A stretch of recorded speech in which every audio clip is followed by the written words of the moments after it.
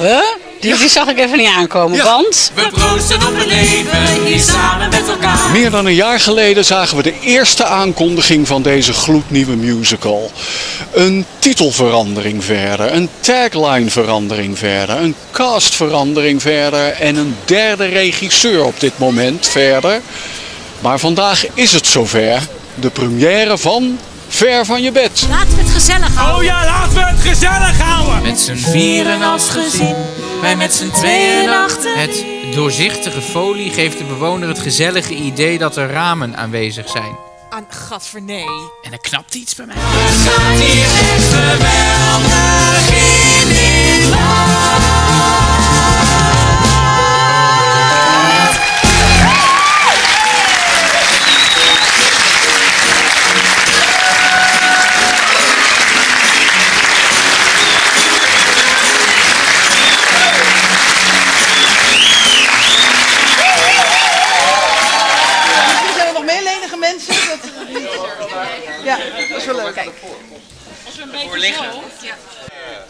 Ik heb stiekem al eerder gekeken. Ik heb het stuk echt in zeven dagen zien groeien, zien veranderen. Fijn. zelfs, ja. Ja, dat klopt wel echt. We hebben echt elke dag nog heel hard gewerkt en geschaafd en stappen gezet. Maar, maar zag ik jullie zeven dagen dan, zag ik vier acteurs in paniek?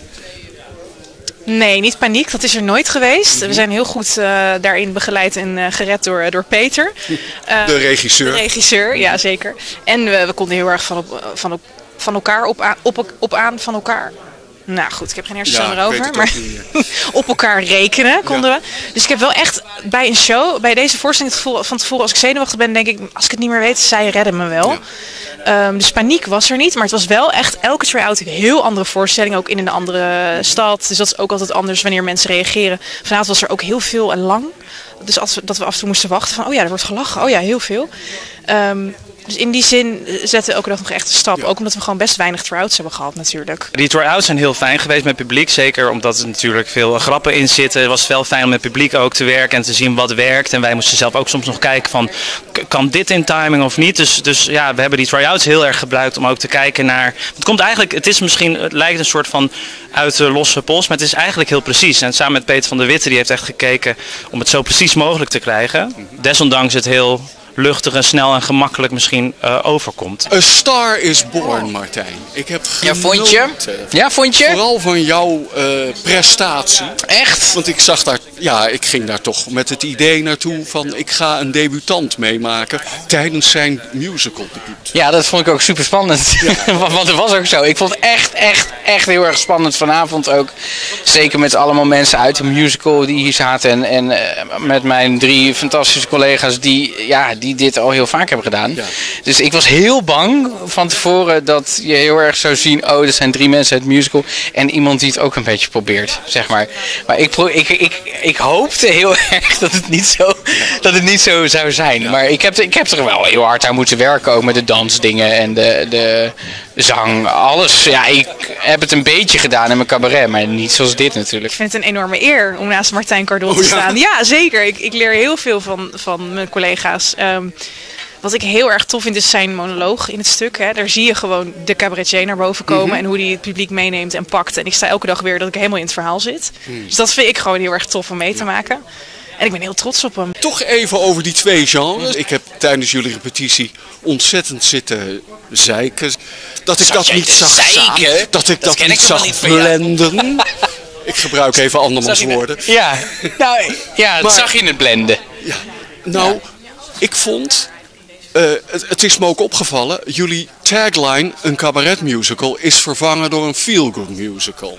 Oh, echt? Ik, Oh, zit dat me af, ja, ik stond of zit me af te Ja. vragen: zijn jullie nog wel een cabaret musical? Want, geen antwoord geven, ik heb het idee dat ik naar een heel goede aflevering, een lange aflevering van The Golden Girls heb zitten kijken. Huh? Die, die zag ik even niet aankomen, Ja. want...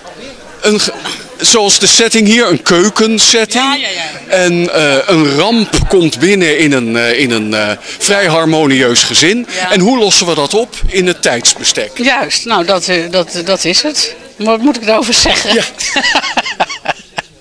Is dat zo? Nou, vind ik ook goed. Maar een hele geslaagde af. Ik ben een groot fan geweest van de Golden Girls. Ja, nou ook prima. Ja, weet ik niet. Ik, ik, het, het is denk ik echt, en het, we hebben misschien wel een soort nieuw genre ontwikkeld. Ik weet het niet. Wat is er nog cabaret musical aan?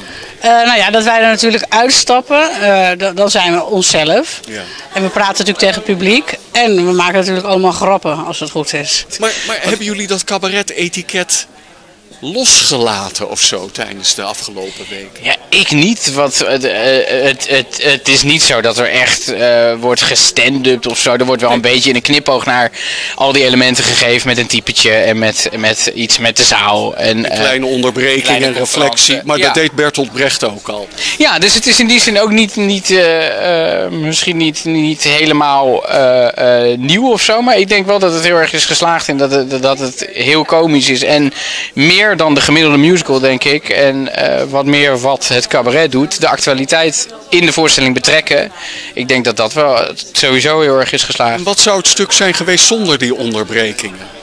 Ehm, nou, dan was het denk ik eh, minder helder geweest wat, wat wij dan eh, wilden vertellen. Want, want, want het, het, het komt zeg maar vanuit nou ja, de, de makers dan. Dat, je, dat het gaat over wat, eh, nou, hoe millennials zich in deze tijd staande houden. En dat het zo verwarrend is en veel. En dat ze daarom het liefst willen dat het een beetje behapbaar wordt en makkelijk. Maar dat hebben we dan allebei eh, hierin gepropt. Dus dat- je hebt het wel allebei nodig. Ik heb altijd in mijn hoofd in ieder geval gehad dat Nederland wel weer zit te wachten op eh, nou ja, die eigen tijdse musicals. Zoals die er vroeger eigenlijk ook. We hebben natuurlijk een hele rijke kleinkunstgeschiedenis en een oude musicalgeschiedenis ook. En ik vind dat het in de laatste jaren denk ik van nou, volgens mij zijn we wel weer toe aan musicals die ook een hele leuke avond bieden, maar ook reflecteren op de maatschappij van nu. We hebben nu ja, vijf of zes try-outs gehad.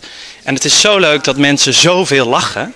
En ik heb het idee dat ja, wat theater sowieso natuurlijk wel is, is even een vlucht uit de realiteit.